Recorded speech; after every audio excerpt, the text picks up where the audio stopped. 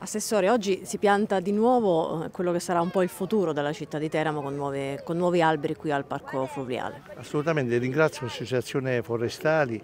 che hanno voluto ricordare questo giorno importante, la festa internazionale delle foreste, ricordare il valore e l'importanza delle alberature e quindi un'occasione per ricordare questo giorno con la piantumazione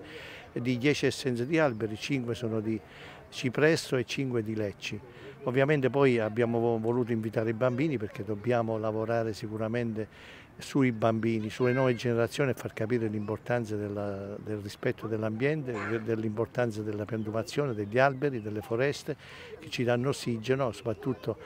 a fronte di un cambiamento climatico che purtroppo è innegabile che sia in corso. Non posso non chiederle delle oltre 2000 preferenze che ha raccolto alle ultime elezioni regionali che immagino insomma, le abbiano fatto molto piacere, a prescindere dal risultato poi finale. Beh, diciamo aver portato avanti una battaglia da solo sicuramente è stato un risultato e ringrazio tutti quei cittadini che mi hanno sostenuto e hanno capito l'impegno e l'amore che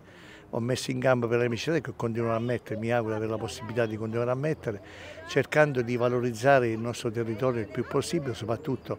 siamo qui oggi nel Parco Fluviale, abbiamo questo patrimonio di valore inestimabile che dobbiamo cercare di abbellire sempre di più e renderlo più fruibile a tutte le fasce di età e quindi quello è il nostro obiettivo, è il mio obiettivo soprattutto e quindi speriamo dell'opportunità di continuare con questa attività di salvaguardia dell'ambiente, di rispetto dell'ambiente, di valorizzazione del, del, nostro territorio. Lei lo spera perché insomma, si parla molto di questo rimpasto di giunta, eh, ha paura insomma, di venire defenestrato? Ecco. No, io nessuna paura le dico, posso, so, nella vita ho tante cose da fare, non sono attaccato alla poltrona, ci mancherebbe.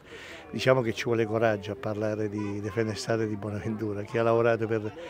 cinque anni eh, senza un giorno di ferie, eh, 8-9 ore al giorno, lo sanno tutti, però il, diciamo, il sindaco ha la libertà di, fare, di decidere lui, quindi è una libertà che io non posso andare a confutare, quindi lui sa lui quello che deve fare. Io sono a disposizione dell'amministrazione,